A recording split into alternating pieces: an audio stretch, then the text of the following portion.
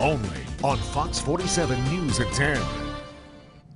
Well, Laura, some chilly temperatures tonight, and I mean, chilly is an understatement. It's going to be really cold, um, but there might be some relief down the road for us. Yeah, long down the road, Yeah. but not that far away, really, in terms of what this winter has been like. It's nice to know that in just a couple of days we could be approaching 30 degrees, and then Mm-hmm. All even right. farther, we've got a shot at breaking freezing. That'll be so nice. And let's take a look at those temperatures right now. They're not so nice.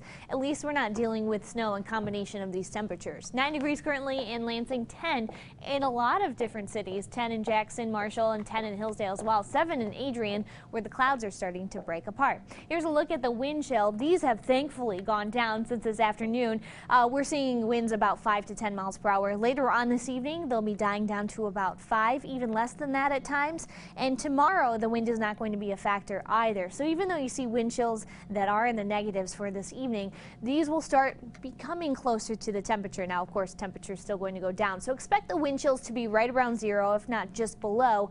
Tomorrow, they will not be quite as much of a problem. Here's a look at the 48 hour future track. We're going to see those temperatures dip down right to around zero. This model keeps things just a little warmer, but look at this 7 o'clock on Tuesday morning, 4 degrees in Lansing, 5 in Jackson.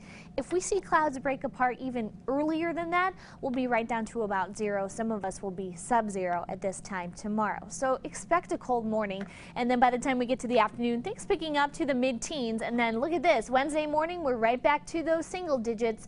We'll see temperatures again right around zero, and then things start going back up. We'll see Wednesday into the 20s, and then the next few days through the rest of the week will be in the 20s as well. We even have a day that's very close to Thursday, or excuse me, to 30, and that is Thursday, 27 degrees. We could see that hike up just a little bit more. Friday and Saturday do look cooler. We've got a cold front coming through, but by the time we get to this point next week, Monday, we should have a shot at about 32 degrees or above.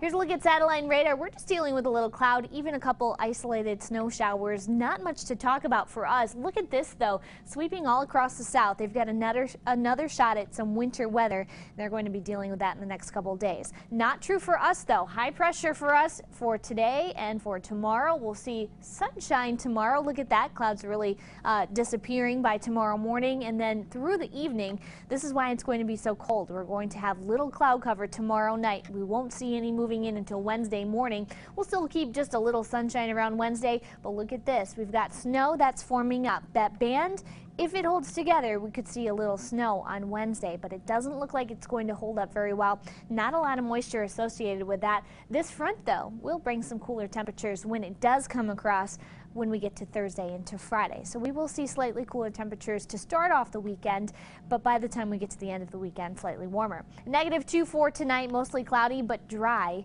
and tomorrow we'll see a dry day as well. Mostly sunny skies and 15 degrees for the high. Joshua is all bundled up. Of course, you have to be in temperatures like these. You know the drill by now. Stay bundled up until we get through some of these 20s and then get closer to the 30s, which will be toward the end of this week into next week.